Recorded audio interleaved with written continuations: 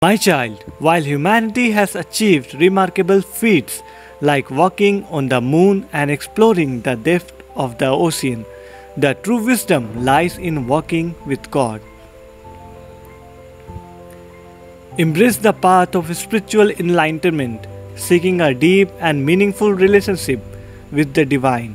It is through the connection that true wisdom and understanding are found in times of despair or feeling helpless. Remember that you are not alone. God, who is alive and full of love, is with you.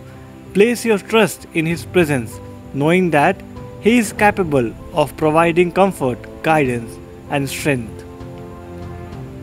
Have faith in the Lord's governance over all things. Trust that He will provide for your needs and lead you towards a good and purposeful outcome.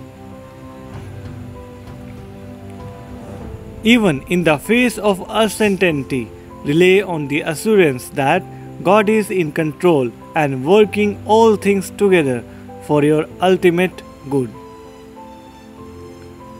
Jesus encourages you to share this message of faith, hope, and divine love with those around you. Type Amen in the comments and must subscribe to this channel and get blessed today.